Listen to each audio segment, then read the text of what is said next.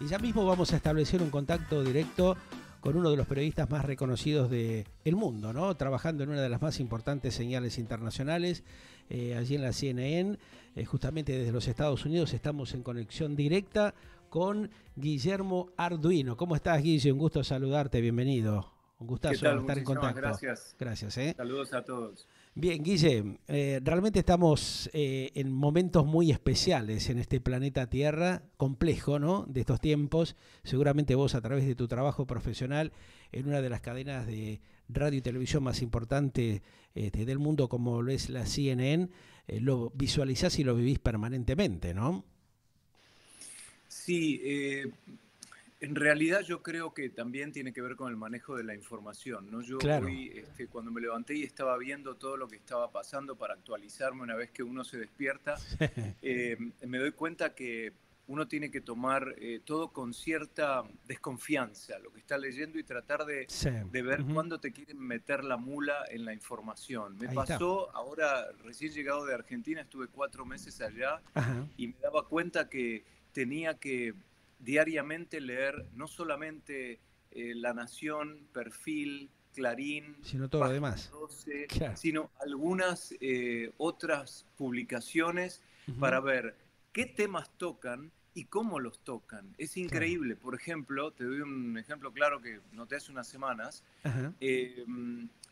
La Nación estaba obsesionado con Cristina Kirchner y todo era sobre el movimiento de Cristina y que los vecinos y que habían hecho y que entraba el departamento en Recoleta o no y que el Fondo Monetario Internacional, etcétera. El enfoque está centrado justamente sobre un tema particular, eso es lo llamativo, ¿no?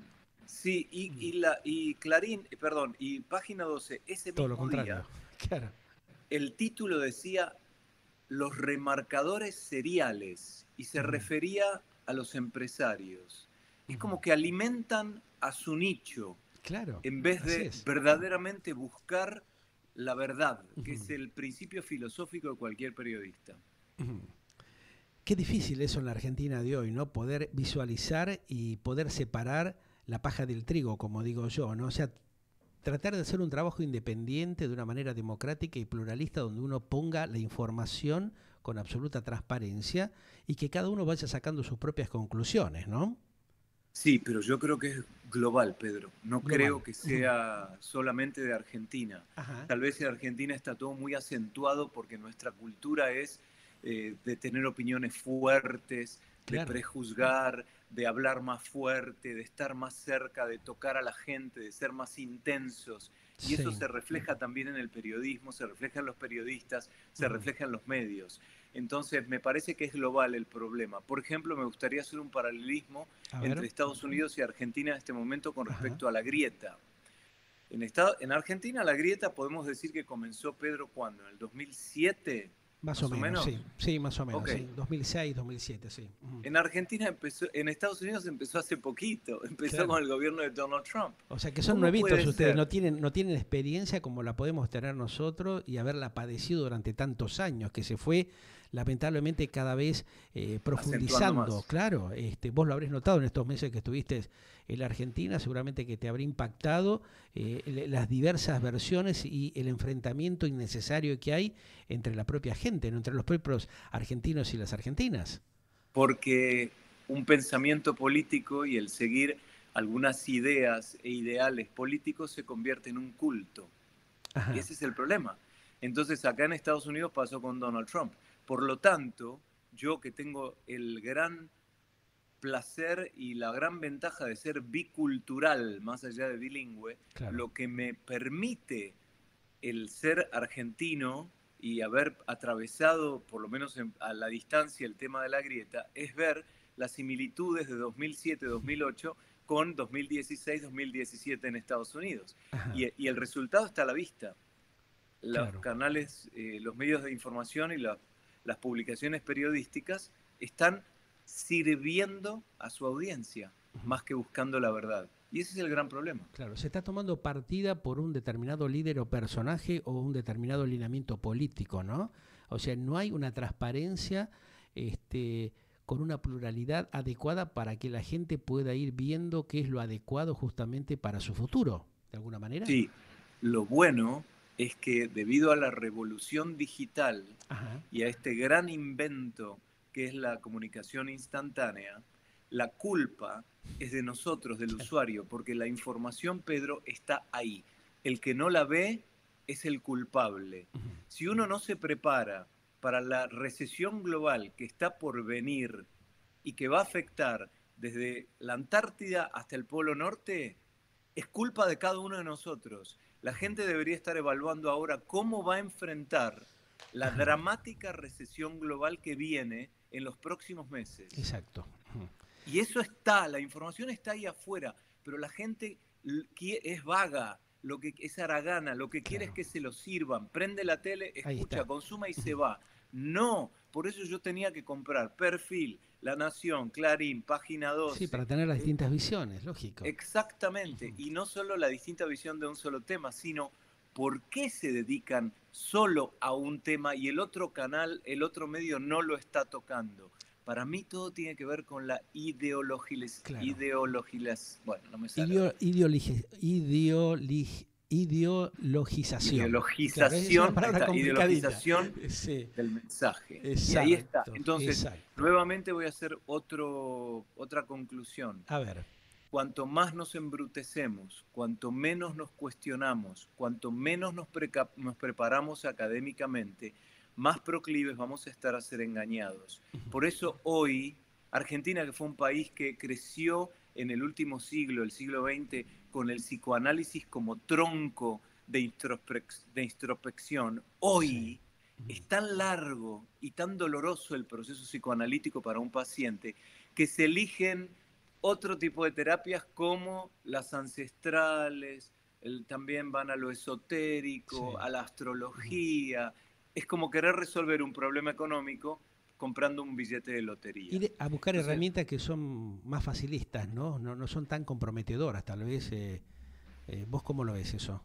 Yo creo que es así. Yo creo que es la esquizofrenia generalizada de crearte una realidad y de, y de creer que, bueno, algo bueno va a pasar. No, algo bueno va a pasar, no, depende de uno. Si uno no toma el toro por las astas, si uno no se prepara para las oportunidades y para tener buena cintura y esquivar los exosets, los balazos, se te viene todo encima. Entonces después no te podés quejar.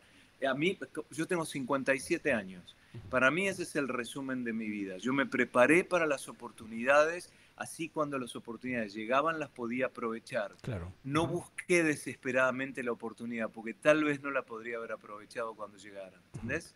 De alguna manera vos crees que esta, esta palabra tal vez no, no sea la adecuada, pero hay como una psicopatía generalizada en estos tiempos donde la humanidad no está tomando conciencia de este tema muy importante que vos planteás, ¿no? La falta de compromiso de capacitarse, de ver lo que está aconteciendo, porque sabemos que hay eh, grupos corporativos multimediáticos que operan a favor o en contra de determinados intereses. Eso desde ya. Eh, en todo el mundo. En todo el mundo. Ahora, la Argentina como que eh, eso se ha profundizado cada vez más y hay cuatro o cinco grupos que manejan a través de la operatoria política la manipulación de la información. Eh, tal vez se da en parte, dicen en estos tiempos también en los Estados Unidos, en Europa, en otros países donde realmente hay una censura atroz como Rusia o la propia China, que no habilitan a que haya una transparencia pluralista y democrática de la información. Teniendo esto que hablamos, ¿no? La libertad y la independencia de los nuevos medios electrónicos y digitales, que de alguna manera vamos eh, abriendo y dando una apertura para que la gente conozca mayor información, para que no sea engañada eh, hay una falta de compromiso de la comunidad internacional y de la latinoamericana de no capacitarse o no ingresar a esos medios para conocer la verdad y por eso siguen permanentemente siendo estafados, engañados y metidos en esta vorágine de la corruptela que nos ha destrozado eh, cada vez de una manera más violenta? Yo creo que sí, pero me parece que el, yo creo que es una sucesión de casualidades y de, situaciones históricas, de errores históricos que producen que eh, la masa se maneje para un lado o para el otro. Yo no le llamaría psicopatía generalizada, sino esquizofrenia. Como que creen eh, realidades alternativas, escuchan otros mensajes, escuchan cosas que no existen, se imaginan situaciones que no son así. De todas formas, eh, aunque haya un gran esfuerzo por parte de una organización multimediática o de un gobierno para confundir el mensaje, si la persona tiene un fundamento académico sólido y un juicio crítico em, sólido, no lo pueden engañar. Entonces yo creo que la palabra, acá hay dos palabras que quiero dar. Yo como individuo me enfrento al futuro y al presente con dos aspectos en estos tiempos tan cambiantes, que son la capacidad para adaptarme y la capacidad para diversificar. Esas dos cosas me van a permitir a mí protegerme. La adaptabilidad por todos los medios, porque tu edad, mi edad, que es más o menos la misma, nosotros somos inmigrantes digitales. Nosotros no crecimos con este concepto que una abuela dice, ay, es increíble, pero mi nieto tiene cuatro años y agarra el iPad y lo maneja. Claro, es un aparato intuitivo, son programas de software intuitivos y el chico responde a los estímulos con su intuición. Nosotros tenemos que pensarlo. Yo tengo amigos que utilizan el teléfono celular para WhatsApp, para llamar y para sacar fotos. No saben que es una supercomputadora con la que pueden trabajar. Yo porque estoy en casa ahora, estoy usando una computadora, si no hubiera usado el teléfono, y esto lo podríamos hacer igual. Entonces, eso por un lado. Por el otro, el deterioro debido a, y acá viene la, palabra clave, Pedro, la democracia. Si no defendemos la democracia, caemos en Cuba, Nicaragua, Venezuela, Rusia, China, por nombrar algunos. Entonces, ellos tienen un ideal, está todo ideologizado, nuevamente voy a la palabra. Ideologizado, sí. Ideologizado. Mm. Está ideologizado de manera tal que em, están convencidos que ese es el sistema y nada más. Entonces nunca van a poder coexistir esos dos, el capitalismo y el socialismo, no van a poder coexistir. No lo vas a convencer al, al uno o al otro. Pero lo que sí yo veo es que ahí es más fácil en ese tipo de gobiernos para censurar la información y para que entre la corrupción y para que entre, y acá viene el tercer elemento que a mí más me preocupa de Argentina, el narcotráfico. Claro, bueno. Y que, está oculto, que no está realmente manejado adecuadamente, pero teniendo justamente esto que vos decís, que planteás, ¿no? las nuevas herramientas tecnológicas que tiene la comunidad internacional, eh, ¿no va eso de alguna manera eh, liberar y habilitar para que la gente conozca eh, mayor información y esté consciente de las cosas que van aconteciendo y que a través de las campañas este, políticas marketineras, justamente la dirigencia y la comunidad internacional cada vez intenta ocultar o dejarla que se vean por el costado nada más. O confundir. También, eso también, que es lo más grave, ¿no? La pandemia es un grave ejemplo, un gran ejemplo el tema de las vacunas, eh, las noticias falsas, ese término que creo que lo acuñó Donald Trump, fake news. Y, em, yo creo que eh, todo responde a la formación académica. Eh, de todas formas, hay ejemplos dentro de la sociedad actual de pensadores, de filósofos, de gente académicamente muy formada que creen teorías conspirativas, que es víctima también de eso, que forma parte del culto lo cual contradice un poco mi teoría, pero no la puedo resolver todavía. Yo lo único que sé es que cuanto más leo y más me cuestiono, con mayor claridad veo la situación. Cuanto más me alejo del esoterismo y de la expresión de deseo, y este es un punto también muy claro, todos estos términos me los da a mí la biculturalidad, el haber vivido acá siendo de Argentina, el haber estado 27 años en este país funcionando en otro idioma, pero viendo parámetros que tienen que ver con otra sociedad. En inglés se dice wishful thinking, expresión de deseo. Y muchas veces te dicen, ¿pero eso que estás diciendo, ¿es tu expresión de deseo o es la lectura de la realidad? Y ahí está el problema. Por eso yo le llamo esquizofrenia generalizada. Bueno, algo va a pasar. Bueno, por ahí tenemos suerte y en las próximas elecciones la situación se arregla. No, no, no, no. Si, si vos agarrás la, información dura de los... Eh, eh, medida no por el gobierno, por eso me encanta que las universidades privadas en Argentina ahora midan la inflación, que midan la imagen de cada político, etcétera, etcétera, como siempre fue en Estados Unidos. No hay forma de manipularlo. Entonces, porque ahí te refleja la realidad de lo que pasa, ¿no? Eh, te sensibiliza realmente con lo que piensa y vive la gente, ¿no? Porque no está manejada desde el poder. Ahí está, claro. Por eh, ejemplo, y les duele justamente, a la gente del poder le duele cuando hay informes de, la UCA, cuando hay informes de diversas universidades, porque van al fondo de la cuestión y le dicen, miren que los números que ustedes dando, los números que ustedes están dando no son tan así, no son reales, ¿no? A partir de ahí, por ejemplo, la Argentina el INDEC empezó a tomar conciencia de que no se podía falsear la información, cosa que aconteció durante mucho tiempo. Sí, por eso eh, yo, yo lo veo como algo positivo y debería haber muchísima más variedad de ese tipo de observaciones e informaciones. Lo que digo es que a pesar de estos tres o cuatro ejemplos que no puedo explicar de académicos que, que están manipulados por estos cultos eh, atados a la política, yo creo que la solución está en la formación académica, la, la solución está en, tener varias miradas. Te voy a dar un ejemplo. Yo tengo una amiga, yo tengo amigos de todos eh, sectores y de todos grupos políticos y eso es lo que a mí me enriquece como persona. Los respeto y los quiero. Tengo amigos que son fervientemente kirchneristas, con los que trato de no hablar temas políticos porque me parece que entramos en el tema del culto. Y yo observo los posteos que hacen y, por ejemplo, había uno que eh, estaba en unas luces de neón y decía, fue Macri. Claro. Bueno, a mí me pasa lo mismo, me sorprendo con justamente las distintas posturas que tienen de un lado y otro, ¿no? Eh, porque uno trata justamente eh, de ser pluralista y de tener justamente relaciones con todo el mundo, a pesar de que a veces a algunos, viste, no les gusta algunos temas que uno toca porque eh, de alguna manera ellos están cercanos a, a, determinados pensamientos y no les resulta agradable.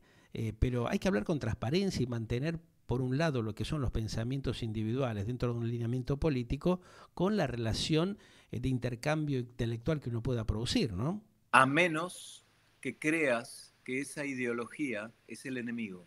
Claro. Y ahí cambia todo. Ahí está el problema también, por un lado, ¿no? Porque muchas veces muchas personas se creen que porque vos decís hacer ciertas cosas, terminás siendo un enemigo, ¿no? Y pasa no solamente entre eh, las amistades que uno tiene, sino también entre los propios dirigentes o los eh, funcionarios políticos o los dirigentes que se sienten como tocados por determinadas cosas que uno dice o les pregunta y después empiezan, viste, a desaparecer, a no querer hablar con vos, ¿no? A no establecer un diálogo sincero creo que es la ideologización de la que estábamos hablando. Nuevamente lo mismo.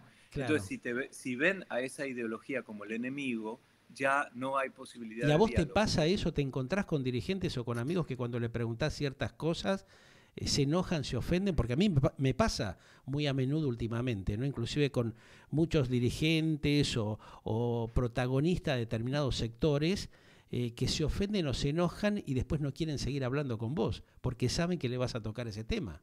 Y yo creo que en Argentina está acentuado por el deterioro generalizado, por la situación económica que realmente... Pensemos en esto, Pedro. A ver.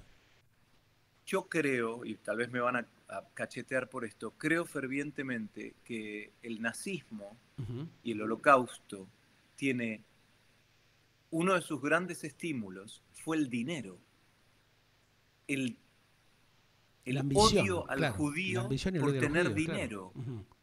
¿Entendés? Entonces, el, tema del factor del dinero es muy importante porque uno con bolsillo vacío piensa distinto de aquel que piensa con bolsillo lleno. Exactamente. Y yo lo puedo observar hasta en algunos integrantes de mi familia, que cuando nosotros hablamos sale otro integrante y me dice, bueno, no podés eh, decir eso porque vos lo estás pensando con bolsillo lleno y tal y tal persona lo vive con bolsillo vacío. Entonces, el tema del dinero es muy importante. Para mí fue uno de los móviles del holocausto. Eh, por parte de un loco, porque así hay que denominarlo, un, loco, un psicópata como fue eh, Adolf Hitler. Entonces, para muy interesante, muy interesante esta reflexión que vos haces, porque realmente es parte de la realidad de lo que se vive y que muchos quieren ocultar, porque sabiendo que tienen ese poderío, como lo que pasa en la gran mayoría de muchos de los dirigentes de Latinoamérica que se han hecho del dinero eh, a través de los actos diversos de corrupción y de engaño y de mentira hacia la sociedad de cada uno de esos países, han generado una maquinaria muy perversa, ¿no? Y la defienden en nombre del dinero y el poder y porque no van a poder borrar esos actos de corrupción que los llevaron a donde están hoy. Claro, cosa que ellos criticaban en su momento también, porque tenemos estos dirigentes, estos políticos, mandatarios de varios países que, bueno, criticaron fervientemente esta situación y después ellos terminaron haciendo eso, ¿no? Apoderándose de las riquezas del pueblo, estafándolo, acorralándolos y llevándolos a un sistema de, hambruno, de hambruna y de miseria como el que tiene la Argentina. Vos fíjate que estamos prácticamente cercano a un 55 o 58% de pobreza, hambre en los niños en la Argentina. El otro era granero del mundo. ¿Cómo se entiende esto? Yo creo, yo creo que no, no es solo eso. También fueron malas decisiones o malas combinaciones con el concierto internacional. Por ejemplo, si pensamos en eh, la época de, eh, la gran época de la recesión económica en Europa y en Estados Unidos cuando Cristina Kirchner estaba en el poder y empezó la pelea con el campo. Claro, probablemente ella se encontraba en una circunstancia muy difícil. Si yo les doy poder al campo para aprovechar esto que va a beneficiar al país, pierdo el poder, puedo perder políticamente, puedo perder el control. Entonces, el campo se habría beneficiado muchísimo, el gobierno se habría beneficiado muchísimo, mm. y con ese golpe impositivo, ese tarifazo de ese momento, eh, se paralizó todo. Cuando ahora vamos a entrar en una circunstancia similar, porque cuando comience un periodo recesivo global, ya Estados Unidos y la Unión Europea, los, gran, los ricos del mundo hoy, los que tienen el poder, no van a ir a comprar a Harrods una corbata o un pantalón, van a, ir a, van a ir a Walmart. Y Walmart es Argentina en el concierto internacional y Argentina se va a poder beneficiar muchísimo de si, si, si hace transacciones a cambio de de bienes y, de servicios de primera necesidad, como pueden ser los commodities, para servirle a estos lugares que van a entrar en recesión y en, una recesión económica importante. Y ahí va a haber que tener una cintura política importante para ver cómo manejas lo interno y lo externo, para beneficiar a tu pueblo, para beneficiar a tu gobierno y se va a beneficiar la oposición también, porque el campo en este momento, que es lo importante de Argentina, está en manos de gente que está opuesto al gobierno de turno. Entonces, si comparamos eso con Venezuela, por ejemplo, ¿por qué Argentina no creo que nunca vaya a llegar a ser Venezuela? Porque Venezuela, la gran actividad económica es el petróleo. El gobierno se puede apoderar y muy fácilmente nacionalizar el petróleo y, empezar a hacerla funcionar, ya el resultado está que no pudo, pero hacerla funcionar para beneficio, para poder manejar la, situación económica del país. ¿Pueden nacionalizar los campos? Muy difícil. Imposible. por eso. Ahora. O sea que tenemos una alternativa, no está todo perdido, o sea, es una luz de esperanza de alguna manera. Pero ojo, ojo, Pedro, quería eh, terminar con este concepto. Pero, y, les cito el caso de Colombia, si se involucra, si se mete el narcotráfico en estamentos políticos como puede ser los poderes, ya debe estar en el Poder Judicial, pero vamos a decir en el legislativo en el ejecutivo, después van a ser los propios narcotraficantes que le van a golpear la puerta a los campos y le van a decir, por protección, usted me tiene que pagar y si no me paga, la va a pasar muy mal. Y ahí es lo que pasa en muchos lugares, ¿no? O sea, Rosario en Santa Fe tiene prácticamente esa realidad.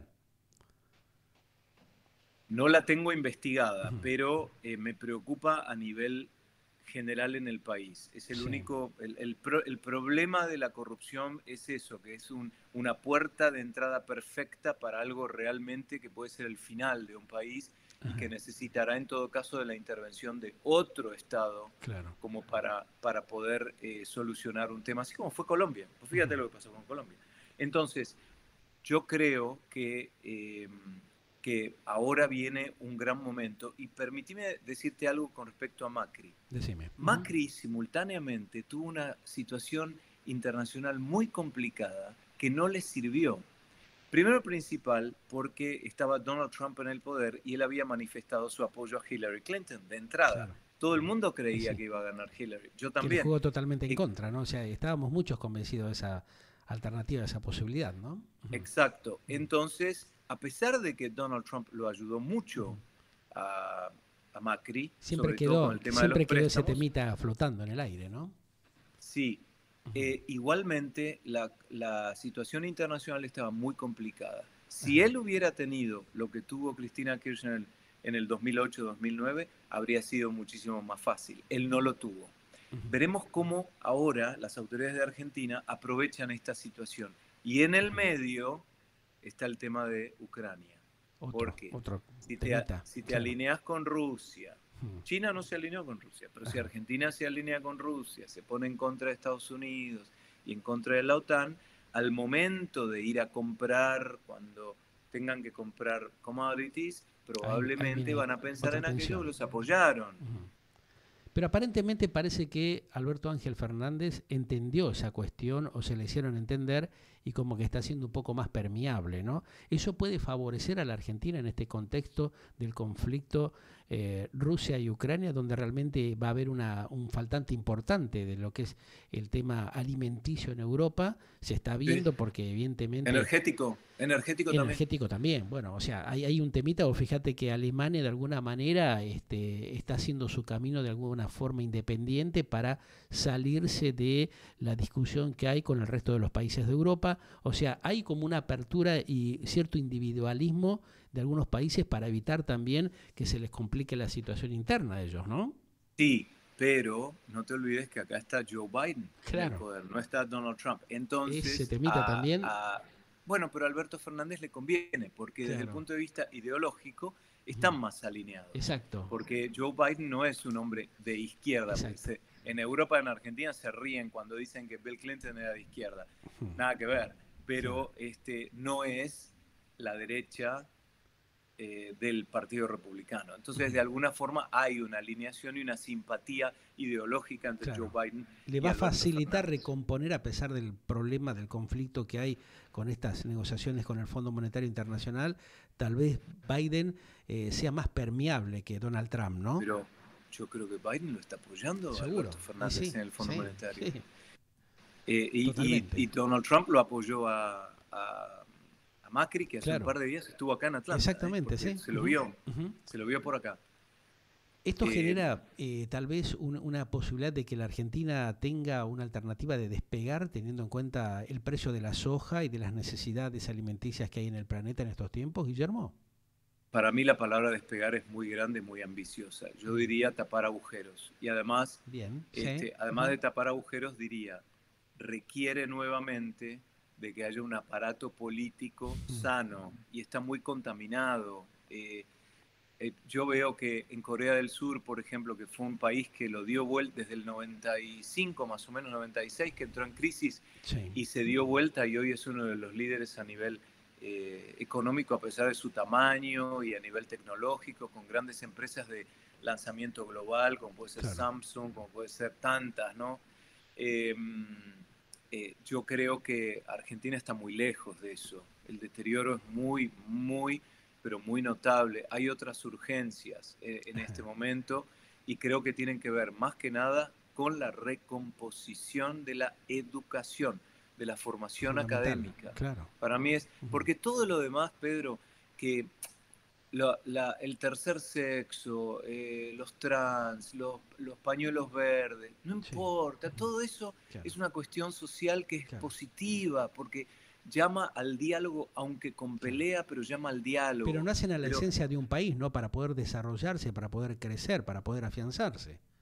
Pero además, eh, hay que yo dije la palabra adaptabilidad, ¿no? Hay que adaptarse a, estas a estos nuevos pensamientos. Hay que adaptarse que, a que hay una revolución sexual distinta, aunque a que probablemente estuvimos sometidos durante muchos años a cánones sociales que nos determinaban, hombre o mujer, y nadie se planteó lo demás. Entonces hay que dar la posibilidad que se plantee todo eso, siempre manteniendo la independencia entre Estado y religión, que en Argentina es muy difícil. Y sabes que me quedó un pensamiento colgando cuando hablábamos de que yo mencioné al holocausto, fíjate que los militares, cuando se fueron del gobierno, quemaron un montón de documentación para que no los pudieran, sabían que estaban actuando en forma errónea, para que no los pudieran llevar a, juicio, a la corte. Bueno, acá todavía está, está comprobándose eso, pero ahora se inició un caso en contra de Donald Trump por haberse llevado como 10.000 documentos clasificados a su eh, domicilio de Mar-a-Lago. Más o menos lo mismo. Entonces, atención que por todos lados, por la izquierda y por la derecha, acá hay, hay cositas raras, que son, ¿no? claro, que no corruptas. Entonces, lamentablemente... En la, Argentina, también ha pasado eso. Vos fíjate que se, se ha detectado que, bueno, a través de la CIDE, los servicios de inteligencia, de otros organismos del Estado, se robó mucha información y, se fueron carpeteando ¿no? políticamente eh, los dirigentes de, un lado y de otro. O sea, e, esto es como, eh, de alguna manera, es manejar con cierta perversidad una información confidencial. Ahora también hay otra disputa, viste, con la AFI, eh, algunos organismos eh, en, la etapa del gobierno anterior de Macri que se están ventilando eh, y siempre van avanzando, surgiendo estas cosas. tienen que tener cierta independencia los organismos del Estado y estar mejor controlados ¿no? para evitar estas cuestiones. Pero en estos sistemas democráticos donde se, se filtra la corruptela, ¿no? Eh, ¿Puede ser eh, factible que se puedan llegar a, resolver estos problemas en un futuro? Yo, es muy difícil, la, vos me estás escuchando, ¿no? Perfectamente, te escucho bien. Ok, es muy difícil la, la, respuesta porque para mí depende de mm, distintas capas para, para poder contestarla. Yo creo que hay un gran desorden y el gran desorden tiene que ver con eh, el advenimiento de los medios digitales instantáneos de información, que ha provocado que el manejo perverso de algunos y el ignorante de otros provoca este, esta confusión en el mensaje. Entonces, ah, ahora eh, todo esto se va a tener que reacomodar en algún momento y la situación va a tener, eh, va a tener que, que mejorar. Pero en el medio eh, hay otras urgencias para solucionar, como por ejemplo los problemas económicos que, vemos en este momento que tienen que resolverse sí o sí. Este... Allí hay como una mayor urgencia y una mayor necesidad, ¿no?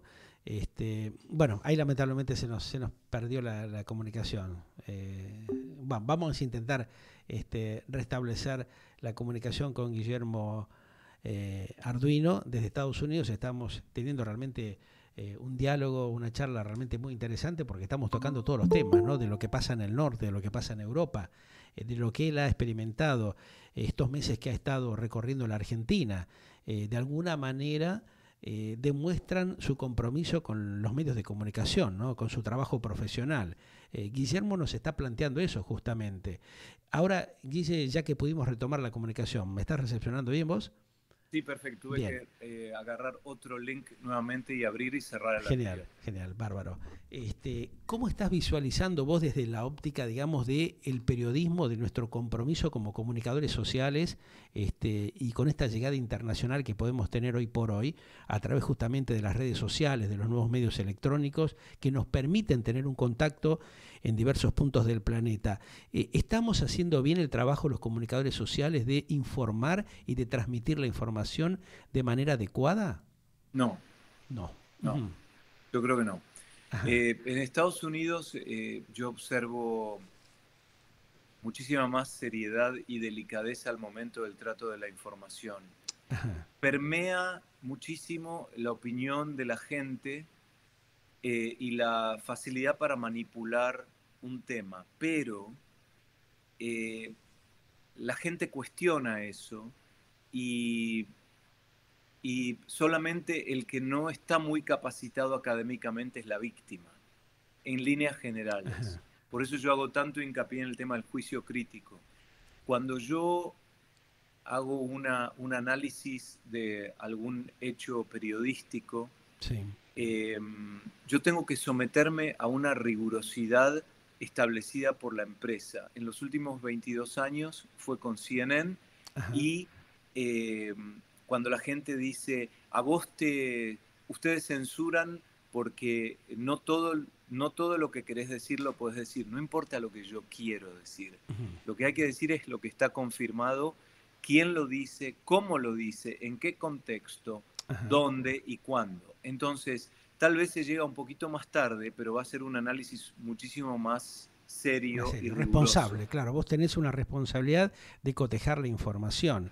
Eh, eso se da, eh, por lo que vos decís, en, los grandes grupos multimediáticos. ¿La cadena CNN, Turner, te permite a vos trabajar con independencia o sentís que estás de alguna manera condicionado con ciertos temas que por ahí no se pueden tocar? No, durante los 22 años que trabajé en la empresa nunca sentí eh, que no podía decir algo. Sí, no se puede decir todavía. Eso sí, lo, experimenté y entendí por qué. Por dos razones. Primero, en honor de la veracidad de la información. Y por el otro, por una cuestión de cuidar el prestigio de la marca.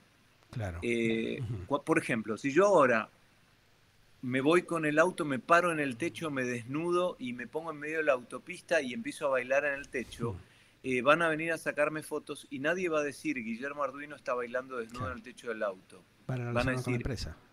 ex presentador de CNN está parado en su auto bailando. Es decir, eh, y eso es lo que eh, provoca que uno tenga que tener cuidado cuando está, está adherido o camina con una marca, la cuestión del prestigio. Por ejemplo, yo siempre cuento esta, esta anécdota. Cuando a mí me invitaban a, o me invitan a dar conferencias, porque ahora la semana que viene me voy a México, ¿no? Pero este, yo tengo una serie de exigencias. Entre ellas, eh, eh, seguridad, porque hay países en los que uno va que tiene que tener cuidado, porque a CNN lo ven de una manera o de otra, o a uno también lo ven de una manera o de otra. A mí en Venezuela me decían el Yankee Boy, ¿no? porque era, el representante del imperio. Porque cuando yo voy, camina conmigo la bandera americana y las tres letras de la marca. Entonces, eh, cuando llego allá, me reciben en el hotel que yo había exigido, eh, en el lugar con la escolta que me había exigido, con todo lo que yo había exigido, había un libro de regalo, una botella de champán y una carta que decía, bienvenido señor Ernesto Arduino. Ernesto, no es mi nombre Ernesto. Claro, por eso. Pero no se equivocan al poner, al poner las, tres a las tres letras de la marca, no ponen XXN. Eso te da la pauta de que en verdad a quien invitaban era un presentador de esta empresa prestigiosa y no al que a mí Claro, por ahí había un doble sentido, ¿no? Ernesto Che Guevara, o, hay una indirecta. Espero que no. por ahí hay una indirecta. Mira, te, lo tiro porque se me cruzó por la mente, ¿no? Como estamos en vivo y en directo. Pero, claro, hay, hay un doble sentido con todo esto, ¿no? es tan importante cuando uno trabaja con una marca tan grande. seguro. O sea, vos tenés ahí un respaldo atrás, una institución de alguna manera que eh, te condiciona para determinadas cosas, ¿no? Ahora, esta independencia que intentamos tener muchos comunicadores sociales en el mundo, eh, donde a veces estamos comprometiéndonos con eh, ciertos intereses de la política y del mundo de los negocios, porque hay cosas que no les gusta. Cuando uno dice ciertas cosas o comenta o informa determinados temas, a veces toca intereses muy grandes. ¿A vos te ha generado algún ruido en algún momento en estos años de tu carrera como profesional? No lo sentí nunca, lo que sí cometí errores eh, por falta de experiencia que uno los va aprendiendo a medida que crece.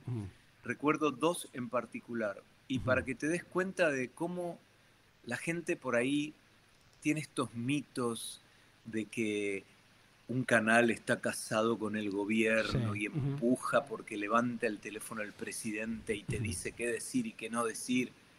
Eh, mentira.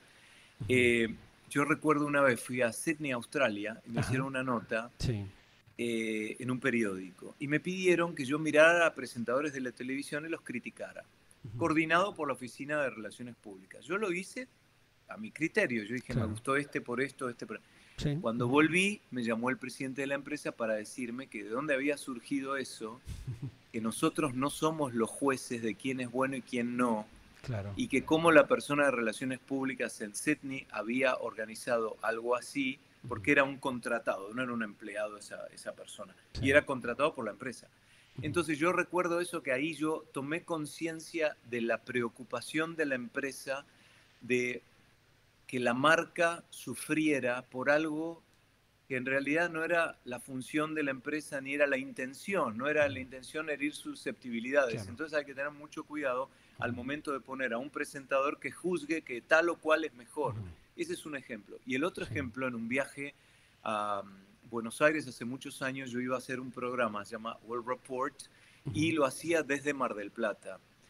Y estaba, y me llamaron de, creo que era Clarín el periódico, sí, para entrevistarme.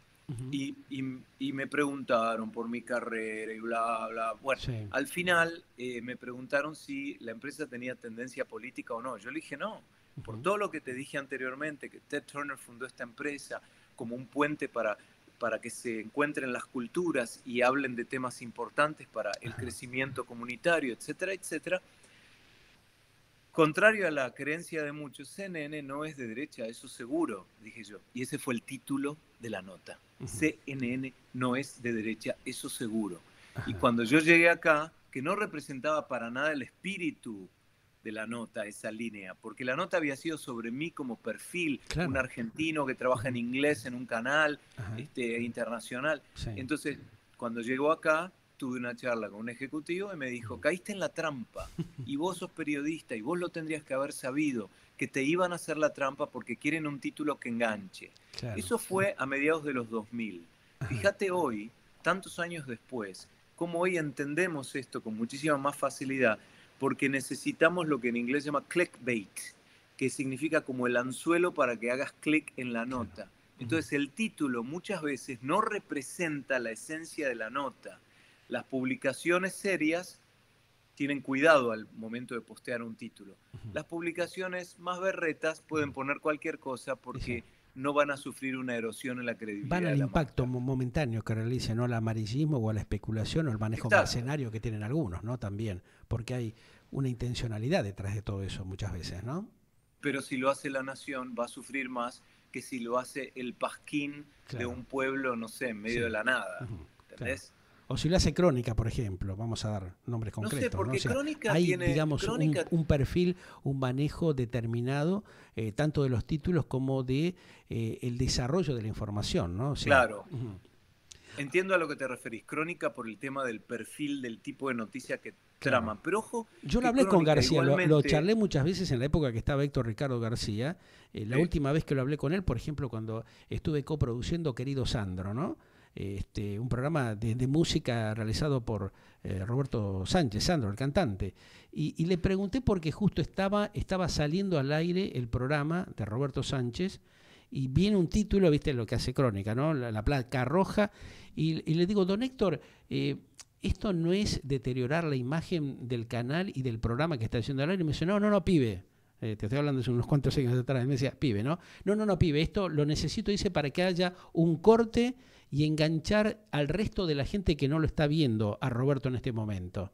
Había como una intencionalidad de generar un, impacto visual con esa placa roja para enganchar al otro segmento de los televidentes que no le interesaba la noticia de Crónica, pero que quería seguir viendo eh, el programa de Roberto Sánchez, el musical con los invitados que tenía, y eso a él le generaba un crecimiento de la audiencia, le generaba ¿Pero qué decía la placa? que por ejemplo, un título agresivo, no sé, asesinaron a fulano de tal en tal lugar. No, no daba, no daba con el programa, o sea, no era el momento oportuno de hacerlo. Convenía esperar de que haya un corte en la tanda comercial o que termine el programa y mandar la información. No, él lo mandaba como impacto del momento para captar a, supuestamente la audiencia que se les estaba yendo, no que se iba, porque no le interesaba. no estaba mintiendo. Es decir, no, no, por eso no, no. O sea, era una estrategia, claro, exactamente. O sea, el impacto para poder mantener la continuidad de la audiencia y de captar el resto de la gente que estaba haciendo zapping. Después yo le entendí eso en el momento no, lo, llegué a comprender. Pensé también, ¿qué me está diciendo este hombre? O sea, este, se quedó en el pasado, pensé yo en ese momento. Después estaba Raúl Nayo, un, conocido publicista de la Argentina, que me dijo, no, Pedro, dice, el gallego sabe lo que hace. Pues yo le digo, pero ¿cómo cortó acá? Yo tenía que mandar la tanda publicitaria de la marca Goldstar, que ya no está más acá en Argentina, porque teníamos un convenio, y le digo, pero rompe el esquema. Me dice, no, no, el, gallego sabe lo que hace, me dijo. Eh, si lees el libro La culpa la tuve yo, que lo escribió él, claro. lo vas a entender, porque ahí te marca el perfil. Pero eh, eh, tu, charla trae otro tema muy importante. Cuán fundamental es conocer la propia audiencia, porque cuando uno conoce su audiencia es, es cómo la va a manejar. Entonces ahí, por eso yo digo, Crónica me parecía a mí un lugar decente, siempre y cuando uno tenga en cuenta a quién va dirigido, quién es la audiencia. Exacto. Eh, tal vez saldría, sería algo fuera de tono en La Nación, pero en La Nación más, pero no en Crónica, ¿no? O en Canal 9, pero no en Crónica. Así es. Eh, me parece que mm, en este caso, claro, por lo que significa eh, un canal como CNN, NBC, CBS, esas cosas no las harían, pero tienen una audiencia distinta. Claro, son eh, sistemas y estrategias diferentes unas de otras. Claro. eso también influye mucho, ¿no? Te hago una preguntita muy puntual. ¿Sufriste, padeciste persecución, censura, prohibiciones a lo largo de tu carrera? Eh, ¿En Estados Unidos se da eso? Porque aquí en la Argentina muchos la hemos sufrido, la hemos padecido y tal vez la seguimos padeciendo, ¿no? A pesar de la institucionalidad de la democracia.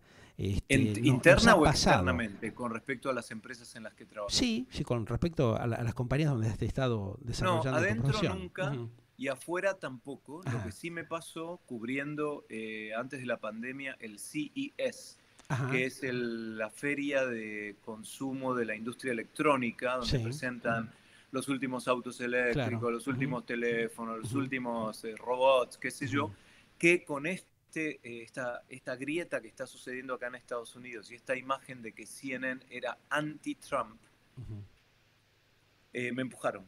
y me dijeron que era noticias falsas. Me empujaron o cuando estaba al aire en vivo, que teníamos un estudio arriba de una estructura típica de una conferencia y se, tenía la señal de CNN, estaba al lado también estaba Fox News, estaba MSNBC, estaba CNBC, pero el nuestro era el más grande.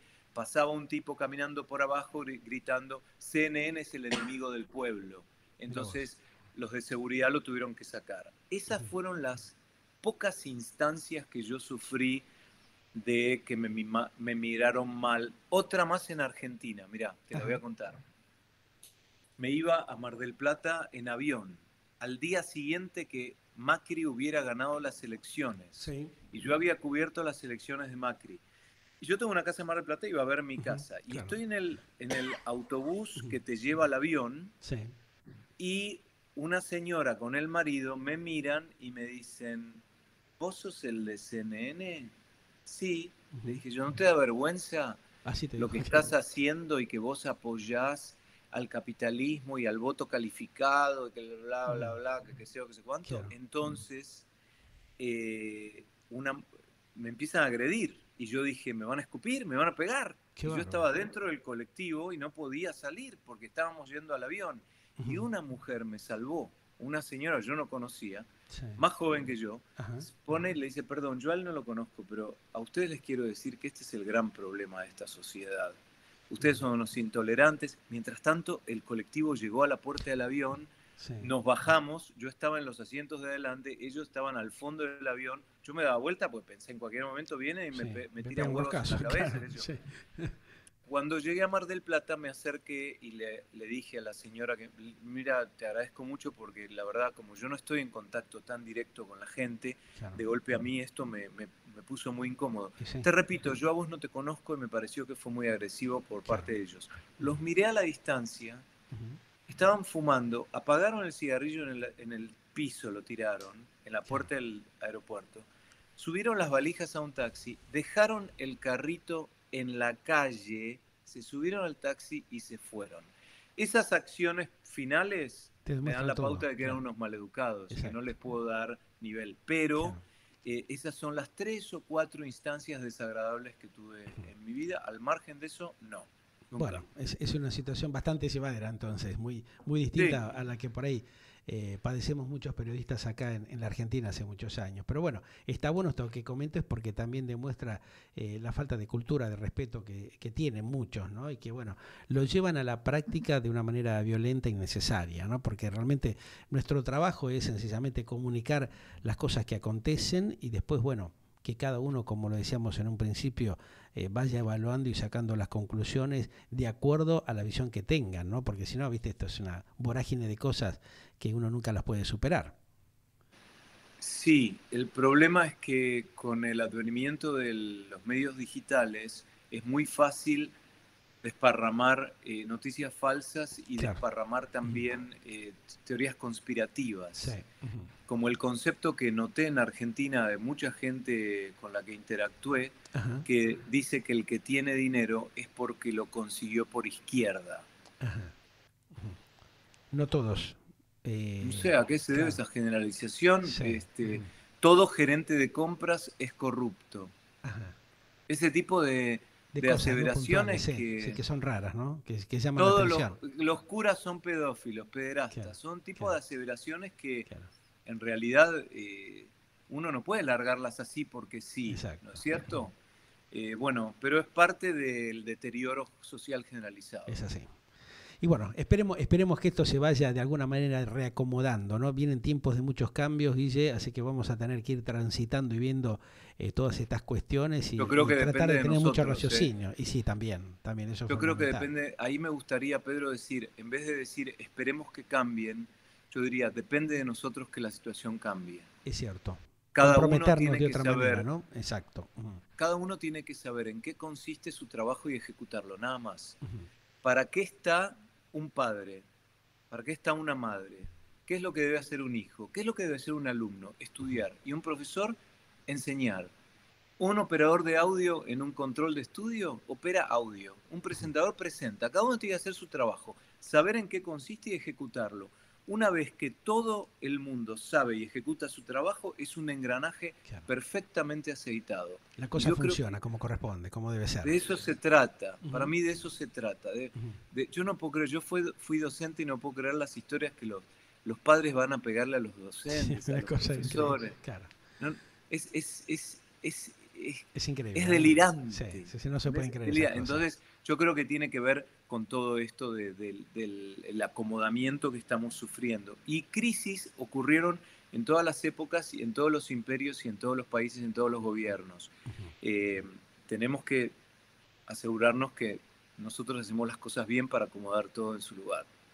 Sigamos en ese camino. Te mando un gigante abrazo, gracias por estos minutos, realmente porque han sido muy fructíferos para, para conocer tu experiencia y para vivir también un poco esto que necesitamos comunicar y transmitir ¿no? a la sociedad para que empiecen eh, a abrir la mente y capacitarse adecuadamente para que puedan tener una mejor calidad de vida, Guillermo. Ahí está el, resumen perfecto. Pedro, gracias, buena suerte. Un gran abrazo, que andes bien, estamos en contacto, gracias. ¿eh?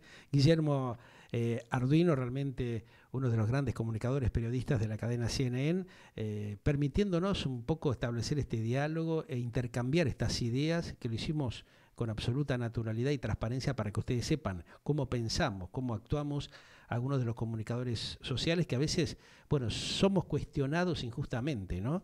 Pero de esta manera podemos llevar claridad para que ustedes vean cuáles son nuestros pensamientos y, lo que pensamos que tiene que acontecer en este tiempo tan convulsionado que vivimos. Galáctica, lo que vos esperabas para acompañar tu vida.